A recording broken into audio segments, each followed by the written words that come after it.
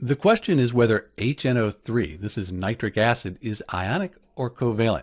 The short answer is this is a covalent compound, but when you put it in water, it'll break apart into its ions.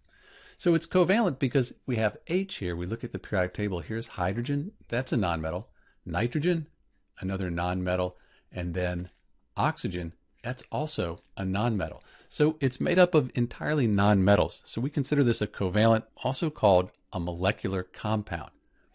When we put HNO3 in water, even though it's a covalent compound, it is a strong acid and it'll dissolve. It'll dissociate into its ions. You'll have H plus and then the NO3 minus, the nitrate ion. So be aware that although HNO3 is a covalent compound, it will ionize when you put it in water because it's a strong acid. There's a link in the description to a video explaining how that happens. This is Dr. B answering the question whether HNO3 is ionic or covalent. It's covalent, but it will ionize when placed in water. Thanks for watching.